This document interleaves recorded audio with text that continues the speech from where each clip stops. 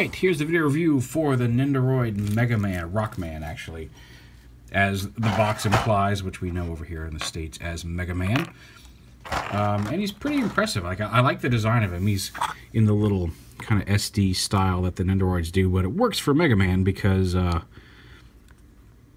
he, he kind of has those proportions anyway. Maybe a little bit more super deformed than uh, we're used to seeing him, but uh, but all in all, like a pretty nice little Mega Man figure. I am a big Mega Man fan. I have been since the original game came out way back when. So uh, yeah. Now this is right now he's attached to his stand. He comes with a stand with a support strut here, so you can have him leaping up in the air if you want. And we'll get to some of that those poses in a minute. But you can just come off, and he does support himself fairly well, even with his giant noggin uh, by himself. He's got a little. It's not a ball joint per se, but a joint a neck joint. He can swivel and look up and down. Um, he's got a swivel at the shoulder, although you can see the arms are already starting to come off because you can swap out some of these pieces, uh, but they do like to, which I guess is nice for swapping out. He's got an elbow swivel, wrist swivel. You can see he's got the joints here in the uh, in the leg, and then there's no there's not a joint there at the foot. The, like the hips and the and the shoulders are really the major points of articulation. Just have a waist swivel as well.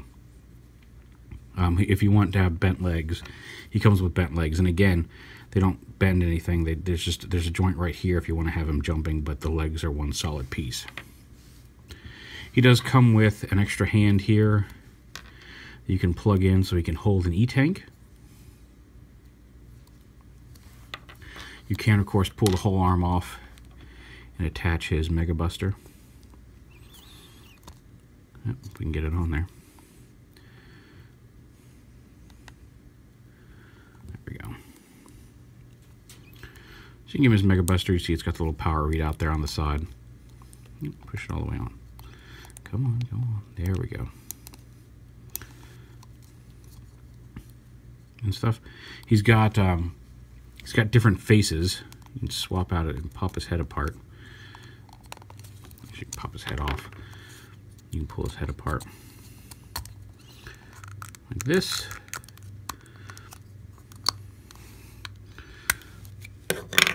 And swap out his face chunk. He's got his neutral face.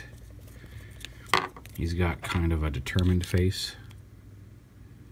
And he's got his Oh no, I've been shot and dying face. Let's go ahead and give him his determined face. Dun. We'll go ahead and pop this back together.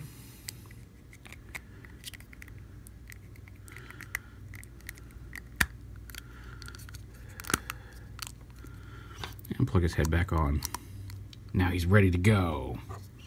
Uh, again, you can swap the, uh, the legs out give them jumping feet. And again, they can move there at the at the knee. That's actually the Mega Man X music, but so you can put him in a jumping pose. You can plug him back into the stand so he's up in the air like this. You can bring him back a little bit.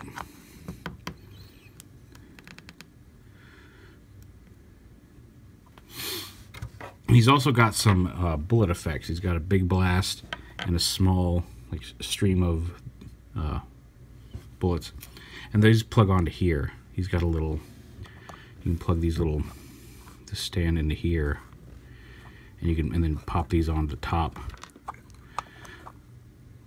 Come here. So you can have it look like he's firing. Though getting it to stay in is a little bit of a pain.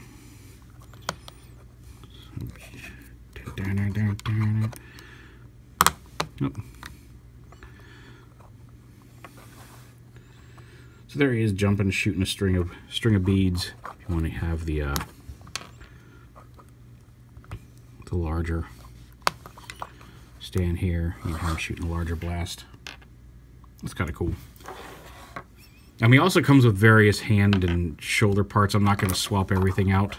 Uh, just for the sake of timeliness on this one. but um, go ahead and put a straight leg back on.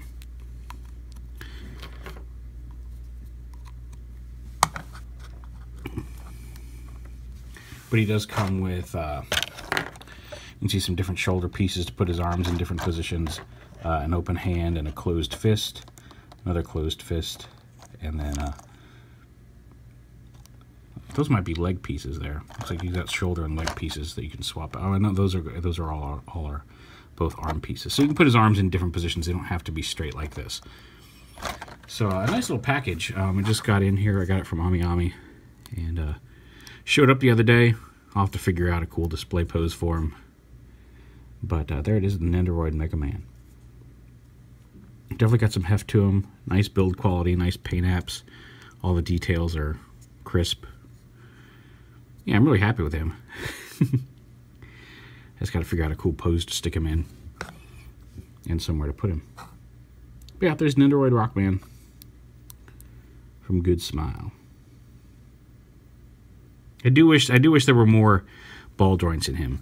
Like I, have I've seen pictures of Nendos before, and they look like in all these crazy poses, and I didn't realize how much of that was accomplished by part swapping and not just by joints built into the figure. But uh, but all in all, it's a nice little representation of Mega Man, and I am very happy with it.